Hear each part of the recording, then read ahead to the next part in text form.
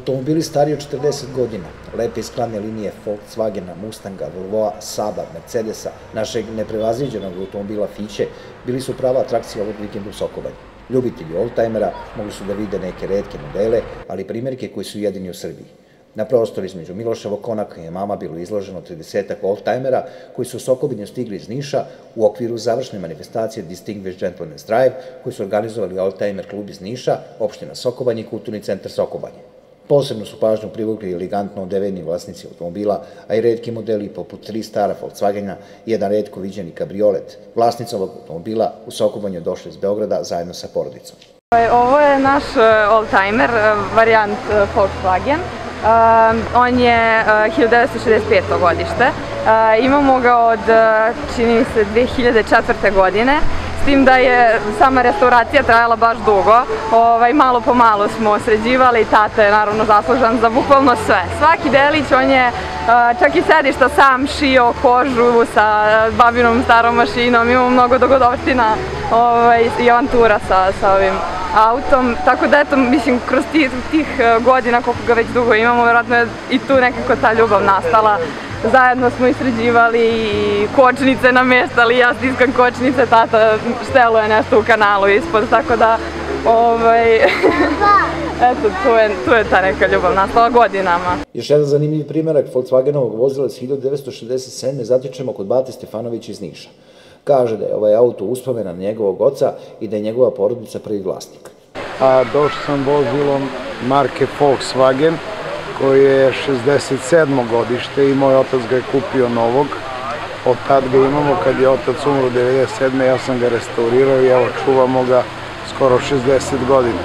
Znači registrovan je u voznom stanju i raritet ovog skupa je da smo uspeli po prvi put na teritoriji a, Srbije i okruženja da skupimo tri modela koja su se proizvodila 60. godina koji su u varijanti limuzina kupe i karavan. To ja ne znam da li je neko na Balkanu uspeo da odradi. Inače, ovo je preteča današnjeg Passata.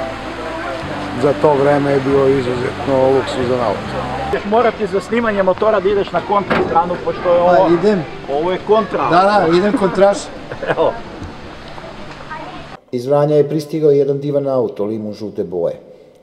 Ovo je Saab 96, veoma je redak primerak i jedini u Srbiji registrovan za sada, koji je u voznom stanju i veoma sam aktivan u, posjećivanju skupova Altajmera u, u Srbiji kao i okruženju. Eto, sa njim sam bio u Sloveniji, u Mostaru, juče sam u Skoplju bio, u Bugarskoj. Sa Oldtimer klubom Niš imamo izuzetno dobru saradnju, tako da svaku njihovu manifestaciju veoma rado posećujemo i oni su naši rado, rado vidjeni gosti na našim manifestacijama koje mi imamo u Vranju. Šta kažu Vranjanci, kako kažu na njihovom govoru kad vide ovako jedan lep auto? Pa kažu da je uva. I? I eto, inače svuda izaziva pažnju gde, gde se pojavi, tako da kažem vam, izuzetno je redak i cenjen, cenjen primjerak u svetu automobila, automobila starih, naravno. U Oldtimer klubu Niš kažu da su zadovoljni Sokobanjom, koja je drugi put za redom domaćin završnice ove manifestacije. Ono se održava istovremeno u preko 60 zemalja i 200 gradova. Hvala vam za, za, za, za, za topao doček, bez obzira na vreme.